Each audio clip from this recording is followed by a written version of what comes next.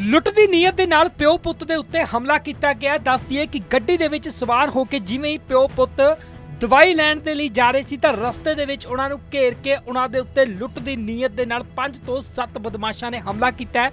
4 ਤੋਂ 5 ਬਾਈਕਾਂ ਦੇ ਉੱਤੇ ਹਮਲਾਵਰ ਆਏ ਸੀ ਤੇ ਆਉਂਦੇ ਸਾਰ ਹੀ ਗੋਲੀਆਂ ਚਲਾ ਦਿੱਤੀਆਂ। ਜਿਸ ਦੇ ਕਾਰਨ ਪਿਤਾ ਦੀ ਮੌਕੇ ਤੇ ਹੀ ਮੌਤ ਹੋ ਗਈ ਹੈ, ਜਦਕਿ ਬੇਟਾ ਗੰਭੀਰ ਰੂਪ ਨਾਲ ਜ਼ਖਮੀ ਦੱਸਿਆ ਜਾ ਰਿਹਾ ਤਾਂ ਸ਼੍ਰੀ ਮੁਕਤਸਰ ਸਾਹਿਬ ਦੇ ਪਿੰਡ ਮਰਾੜ ਕਲਾਂ ਦੀ ਇਹ ਘਟਨਾ ਦੱਸੀ ਜਾ ਰਹੀ ਹੈ, ਜਿੱਥੇ ਕਿ ਪਿਓ ਪੁੱਤ ਦੋਵੇਂ ਹੀ ਆਪਣੀ ਕਾਰ ਦੇ ਵਿੱਚ ਸਵਾਰ ਹੋ ਕੇ ਜਦੋਂ ਦਵਾਈ ਲੈਣ ਦੇ ਲਈ ਘਰ ਤੋਂ ਨਿਕਲੇ, ਤਾਂ ਰਸਤੇ ਦੇ ਵਿੱਚ ਉਹਨਾਂ ਨੂੰ ਬਦਮਾਸ਼ਾਂ ਦੇ ਵੱਲੋਂ ਘੇਰ ਲਿਆ ਜਾਂਦਾ ਹੈ। ਘੇਰ ਕੇ ਉਹਨਾਂ ਦੀ ਗੱਡੀ ਦੀ ਪਹਿਲਾਂ ਚਾਬੀ ਕੱਢੀ ਜਾਂਦੀ ਹੈ। ਚਾਬੀ ਕੱਢਣ ਤੋਂ ਬਾਅਦ ਪਿਓ ਦੇ ਗੋਲੀ ਮਾਰੀ ਜਾਂਦੀ ਹੈ। ਇਸ ਤੋਂ ਇਲਾਵਾ ਤੇਜ਼ ਧਾਰ ਹਥਿਆਰਾਂ ਦੇ ਨਾਲ ਵੀ ਦੋਵਾਂ ਦੇ ਉੱਤੇ ਹਮਲਾ ਕੀਤਾ ਗਿਆ ਜਿਸ ਦੇ ਕਾਰਨ ਪਿਓ ਦੀ ਮੌਕੇ ਤੇ ਹੀ ਮੌਤ ਹੋ ਗਈ ਹੈ, ਜਦਕਿ ਜੋ ਬੇਟਾ ਹੈ, ਉਹ ਗੰਭੀਰ ਰੂਪ ਨਾਲ ਜ਼ਖਮੀ ਦੱਸਿਆ ਜਾ ਰਿਹਾ ਹੈ, ਜਿਸ ਨੂੰ ਕਿ ਇਲਾਜ ਦੇ ਲਈ ਹਸਪਤਾਲ ਦੇ ਵਿੱਚ ਦਾਖਲ ਕਰਵਾਇਆ ਗਿਆ ਤਾਂ ਦੱਸ ਦਈਏ ਕਿ ਵੱਡੀ ਵਾਰਦਾਤ ਸ਼੍ਰੀ ਮੁਕਤਸਰ ਸਾਹਿਬ ਦੇ ਵਿੱਚ ਵਾਪਰੀ ਹੈ। ਅੱਜ ਦਿਨ ਪੰਜਾਬ ਦੇ ਵਿੱਚ ਲੁੱਟਾਂ ਖੋਹਾਂ, ਗੋਲੀਆਂ ਚੱਲਣ ਦੇ ਮਾਮਲੇ ਸਾਹਮਣੇ ਆ ਰਹੇ ਨੇ ਤੇ ਇਸੇ ਵਿਚਕਾਰ ਹੁਣ ਵੱਡੀ ਖਬਰ ਸ਼੍ਰੀ ਮੁਕਤਸਰ ਸਾਹਿਬ ਦੇ ਪਿੰਡ ਮਰਾੜ ਕਲਾ ਤੋਂ ਸਾਹਮਣੇ ਆ ਰਹੀ ਹੈ, ਜਿੱਥੇ ਕਿ ਪਿਓ ਪੁੱਤ ਜਦੋਂ ਦਵਾਈ ਲੈਣ ਦੇ ਲਈ ਘਰ ਤੋਂ ਰਵਾਨਾ ਹੋਏ ਤਾਂ ਰਸਤੇ ਦੇ ਵਿੱਚ ਉਹਨਾਂ ਨੂੰ ਬਦਮਾਸ਼ਾਂ ਦੇ ਵੱਲੋਂ ਘੇਰਾ ਪਾ ਲਿਆ ਜਾਂਦਾ ਹੈ।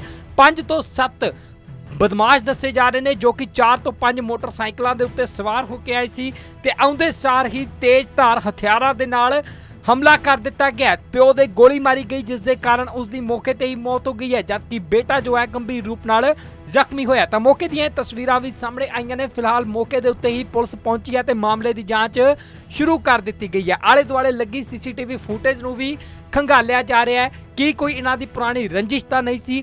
ਇਸ ਨੂੰ ਲੈ ਕੇ ਵੀ ਲਗਾਤਾਰ ਹਰ ਐਂਗਲ ਤੋਂ ਜਾਂਚ ਕੀਤੀ ਜਾ ਰਹੀ ਹੈ। ਤਾਂ ਲੁੱਟ ਦੀ ਨੀਅਤ ਪਹਿਲਾਂ ਦੱਸਿਆ ਜਾ ਰਿਹਾ ਹੈ ਕਿ ਲੁੱਟ ਦੀ ਨੀਅਤ ਦੇ ਨਾਲ ਹੀ ਇਹ ਹਮਲਾ ਕੀਤਾ ਗਿਆ, ਜਿਸ ਦੇ ਕਾਰਨ ਉਹਨਾਂ ਦੇ ਮੋਬਾਈਲ ਫੋਨ ਤੱਕ ਖੋ ਕੇ ਲੁਟੇਰੇ ਇਹ ਫਰਾਰ ਹੋ ਗਏ ਨੇ। ਤਾਂ ਸ਼੍ਰੀ ਮੁਕਤਸਰ ਸਾਹਿਬ ਤੋਂ ਵੱਡੀ ਖਬਰ ਸਾਹਮਣੇ ਆਈ ਹੈ, ਪਿਓ ਪੁੱਤ ਜਦੋਂ ਦਵਾਈ ਲੈਣ ਦੇ ਲਈ ਘਰੋਂ ਨਿਕਲੇ, ਤਾਂ ਰਾਹ ਦੇ ਵਿੱਚ ਘੇਰ ਕੇ ਉਹਨਾਂ ਦੇ ਉੱਤੇ ਹਮਲਾ ਕੀਤਾ ਗਿਆ। ਲੁੱਟ ਦੀ ਨੀਅਤ ਦੇ ਨਾਲ ਪਿਓ ਪੁੱਤ ਦੇ ਉੱਤੇ ਹਮਲਾ ਕੀਤਾ ਗਿਆ। ਦੱਸ ਦਈਏ ਕਿ ਗੱਡੀ ਦੇ ਵਿੱਚ ਸਵਾਰ ਹੋ ਕੇ ਜਿਵੇਂ ਹੀ ਪਿਓ ਪੁੱਤ ਦਵਾਈ ਲੈਣ ਦੇ ਲਈ ਜਾ ਰਹੇ ਸੀ ਤਾਂ ਰਸਤੇ ਦੇ ਵਿੱਚ ਉਹਨਾਂ ਨੂੰ ਘੇਰ ਕੇ ਉਹਨਾਂ ਦੇ ਉੱਤੇ ਲੁੱਟ ਦੀ ਨੀਅਤ ਦੇ ਨਾਲ 5 ਤੋਂ 7 ਬਦਮਾਸ਼ਾਂ ਨੇ ਹਮਲਾ ਕੀਤਾ ਹੈ।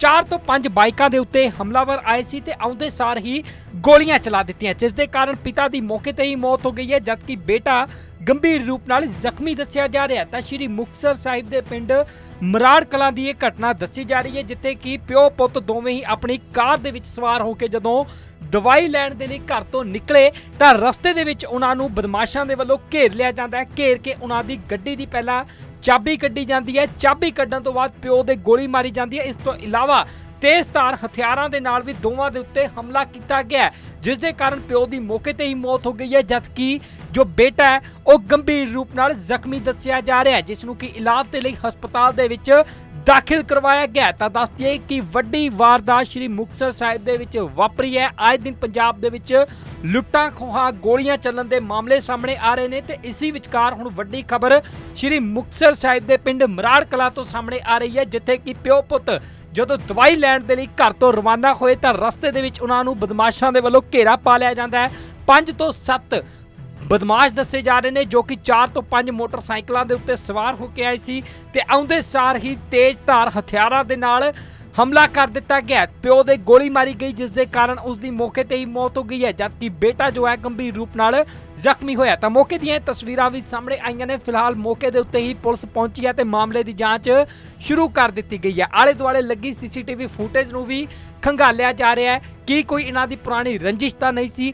ਇਸ ਨੂੰ ਲੈ ਕੇ ਵੀ ਲਗਾਤਾਰ ਹਰ ਐਂਗਲ ਤੋਂ ਜਾਂਚ ਕੀਤੀ ਜਾ ਰਹੀ ਹੈ। ਤਾਂ ਲੁੱਟ ਦੀ ਨੀਅਤ ਪਹਿਲਾਂ ਦੱਸਿਆ ਜਾ ਰਿਹਾ ਹੈ ਕਿ ਲੁੱਟ ਦੀ ਨੀਅਤ ਦੇ ਨਾਲ ਹੀ ਇਹ ਹਮਲਾ ਕੀਤਾ ਗਿਆ, ਜਿਸ ਦੇ ਕਾਰਨ ਉਹਨਾਂ ਦੇ ਮੋਬਾਈਲ ਫੋਨ ਤੱਕ ਖੋ ਕੇ ਲੁਟੇਰੇ ਇਹ ਫਰਾਰ ਹੋ ਗਏ ਨੇ। ਤਾਂ ਸ਼੍ਰੀ ਮੁਕਤਸਰ ਸਾਹਿਬ ਤੋਂ ਵੱਡੀ ਖਬਰ ਸਾਹਮਣੇ ਆਈ ਹੈ, ਪਿਓ ਪੁੱਤ ਜਦੋਂ ਦਵਾਈ ਲੈਣ ਦੇ ਲਈ ਘਰੋਂ ਨਿਕਲੇ, ਤਾਂ ਰਾਹ ਦੇ ਵਿੱਚ ਘੇਰ ਕੇ ਉਹਨਾਂ ਦੇ ਉੱਤੇ ਹਮਲਾ ਕੀਤਾ ਗਿਆ।